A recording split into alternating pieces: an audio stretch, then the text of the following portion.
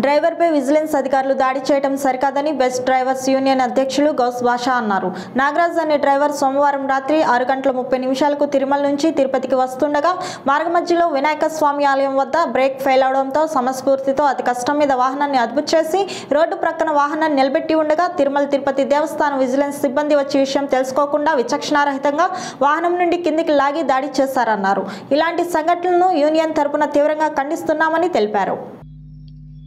మన నాగేంద్ర ఒక సమస్య పైన నిన్న తిరుమలలో ఘాట్ రోడ్డు నుంచి దిగుతుంటే బ్రేక్ ఫెయిల్ అయిపోవడం జరిగింది.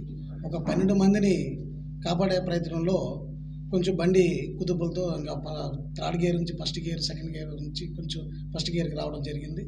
దీంట్లో ఈ యొక్క వెనకాల వెహికల్స్ విజిలెన్స్ వెహికల్స్ రావడం జరిగింది. వాళ్ళు ఇతను బై వెహికల్ ఎట్టో ఒకటి దీన్ని సైడ్కి ఆపడం జరిగింది.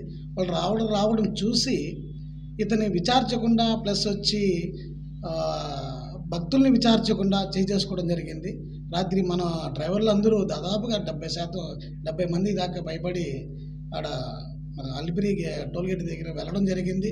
అతను చూపించకుండా రకరకాలుగా మాట్లాడి పంపించడం జరిగింది. రేపు పొద్దున్న రమ్మంటే ఇవాళ రమ్మని చెప్పారు. కానీ ఇవాళ వెళితే విజిలెన్స్ ఆఫీసర్ గారు బాగా మంచి స్పందించారు. అతనిపైన యాక్షన్ తీసుకుందామంటే మా ముందరే పేపర్ పైన కూడా సైన్ చేశారు పలానా సంవత్సరం జరిగారు. కానీ ఈరోజు ఏం జరిగిందంటే అటు కొట్టిన వాళ్ళు విజిలెన్స్ వాళ్ళు ఫారెస్ట్ వాళ్ళు అని చెప్తున్నారు. రాత్రి ఈ అబ్బాయి మా మానసికంగా లోబడిపోయి సూసైడ్ చేసుకుందాము అనే రకంగా ఇదైపోయాడు. ఎందుకంటే అతను హెవీ డ్రైవర్ హెవీ లైసెన్స్ సంబంధించిన ఒక డ్రైవర్. ఒక విచారించకుండా ఒక యాత్రికులు ఒకళ్ళు విచారించుంటే యాత్రికులు మన భద్రత కారం ద్వారా నువ్వు తప్పు చేసినవరా? అని చెప్పచ్చు. వాడు పిక్ ప్యాక్ చేయలేదు తాగేస్తోలేదు రకరకాలు ఉంటాయి. అట్లా విచారించకుండా ఈరోజు ఫారెస్ట్ పైన తోసేయడము అది మంచి సమ ఆలోచన విధానం అనేది కాదు. కరెక్ట్ తప్పు చేసిన వాడిని ఖండించాలా అనేది ఒక ఆలోచనతోనే ఒక డ్రైవర్కి ఈరోజు ఇతను జరిగింది రేపు ఇంకొకటి జరుగుతుంది. ఇప్పుడు విచారణ అతను తప్పు చేస్తుంటే కేసులు రాయాలి కానీ చేసేసుకోవడం అనేది చాలా బాధాకరము.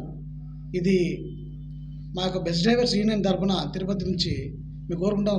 మన డ్రైవర్లే కాదు ఏ ఒక్క డ్రైవర్ అయినా సరే ఒక మనిషిని గౌరవించాలా ఈ తిరుమల తిరుపతికి మంచి గౌరవం ఉంది. దీనివల్ల కొన్ని వేలాది కుటుంబాలు బతుకుతున్నాయి.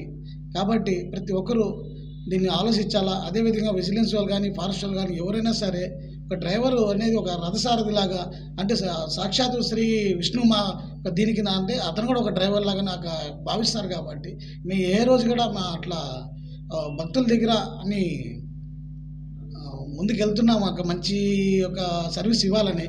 అలా అని అట్లా వాళ్ళు యాక్సిడెంట్ చేయలేదు. అవి ఒక బండిని కంట్రోల్ చేసే విధంలో అసలు అంత చేసిన వ్యక్తిని మనం ఆ ప్రోత్సాహించి పోయేసి అతను ఆ మానసికని ఇబ్బందిగా బాధపడి ఈరోజు కూడా అట్లే జరిగింది. ఇప్పుడు విజిలెన్స్ వాడిని చెప్పకుండా ఫారెస్ట్ వాళ్ళ పని చేశారు ఇప్పుడు ప్రెస్ మీట్కి రావడం కారణం కూడా ఇప్పుడు కూడా అతను బాగా డిస్టర్బ్ అయిపోయాడు. సరే రారా నీకు నీకు ఎందుకు నీ తృప్తిగా వస్తుంది అతన్ని కొంచెం ఓదార్చేట్టు ఉంటున్నాక దీంతోనే ఇప్పుడు ఒక ఈ ప్రెస్ మీట్కి ఇక్కడ రావడం జరిగింది. అతను తగిన న్యాయం చేయాలని కోరు నమస్కారం సార్. మా పిల్లోల్ని ఏదో ఈ డిగ్రీ సెకండ్ ఇయర్ స్టూడెంట్ చదివిపించి ఉద్యోగాలు దొరకకుండా డ్రైవర్ పనికి పంపిస్తున్నాను వన్ ఇయర్గా. అయినా ఇప్పుడు ఒక మన అనస్పిడగా ఘాట్ రోడ్లో టెంపో నుంచి దిగడం సహజంగా మెగా వెహికల్ అన్నాక ఏదో ఒక ప్రాబ్లం ఉంటుంది. వెహికల్ అన్నాక ఏదో ఒక ప్రాబ్లం ఉంటుంది ఘాట్ రోడ్లో అన్స్పీడ్గా ఫైల్ వేయడం ఆ టైంకి ఏదో ఏదో అతను వీలైనంత వరకు కంట్రోల్ చేసి పక్కకు పెట్టి అన్నీ చేసినాడు. వెనకాల విజిలెన్స్ బండి రావడం అంట అదేందో కొట్టడం అంట. అది ఎక్కడ లేని రూల్స్ రెగ్యులేషన్ ప్రకారంగా ఒక డ్రైవర్ని కొట్టడం అనేది ఇదే తొలిసారి నేను చూడటం.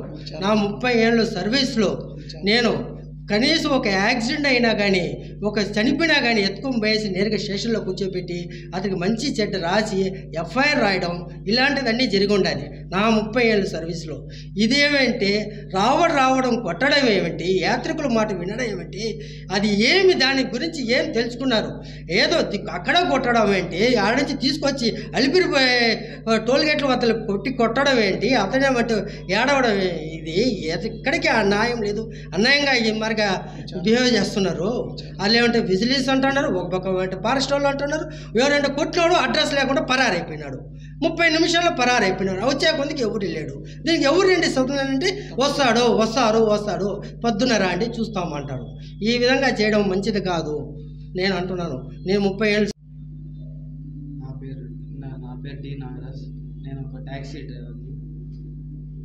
నేను ఇక్కడ మా ట్రావెల్స్ యాక్టింగ్ డ్రైవర్గా వర్క్ చేస్తూ ఉంటాను.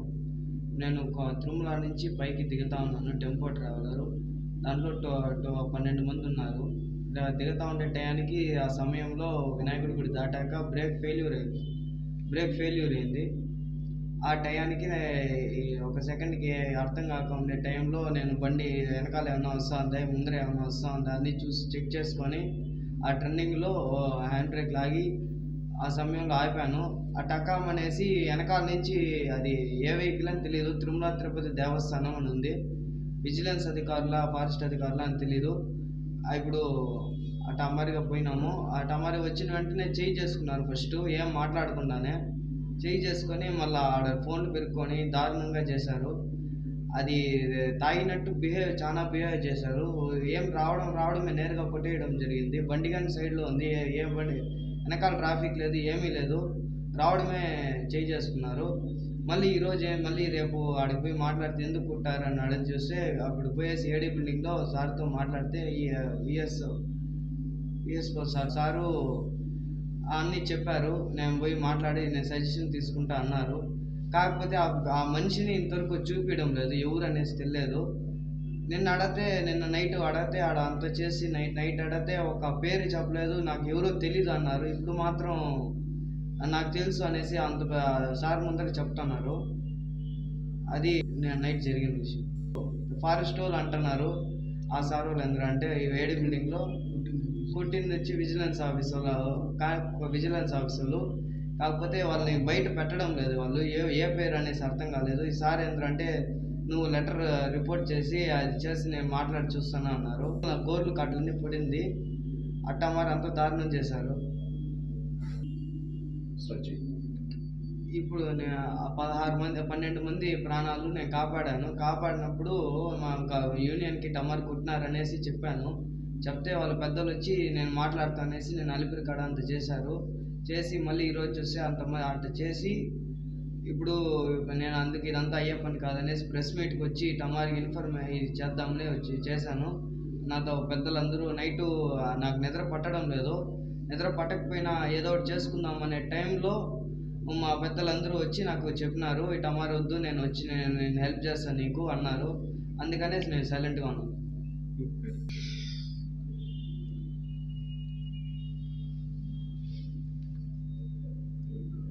ఈరోజు